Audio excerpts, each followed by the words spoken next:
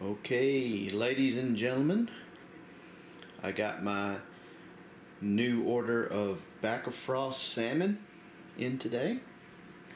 So I'm going to be cutting those fillets up on it here in just a few moments. And also going to make some sushi with it later. Excited.